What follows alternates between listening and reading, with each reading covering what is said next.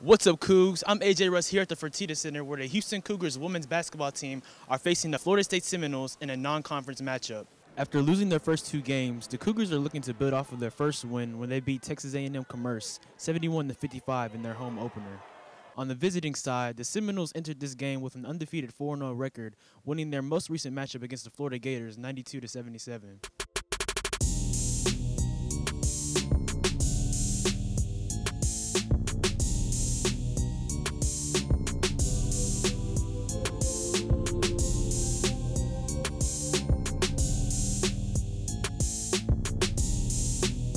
Seminoles started off hot in the first half, but the Cougars went on a run as the score was tied up at halftime, 35 apiece.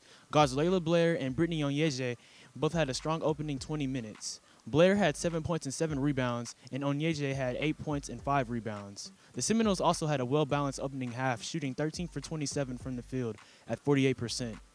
In the second half, a tie score was a common theme, as U of H and FSU proved to be evenly matched teams, causing the game to go into overtime.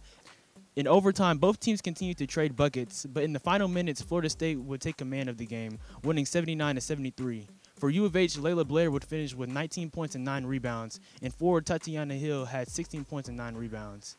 FSU had four starters in double figures, including freshman guard Ta'Niya Latson, who had 21 points and 4 assists, shooting 8 for 14 from the field.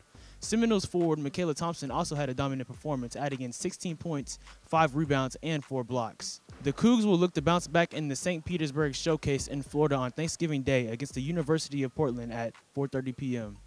That's all we have for you today. Thanks for watching another episode of In the Game. I'm AJ Russ. Go Coogs.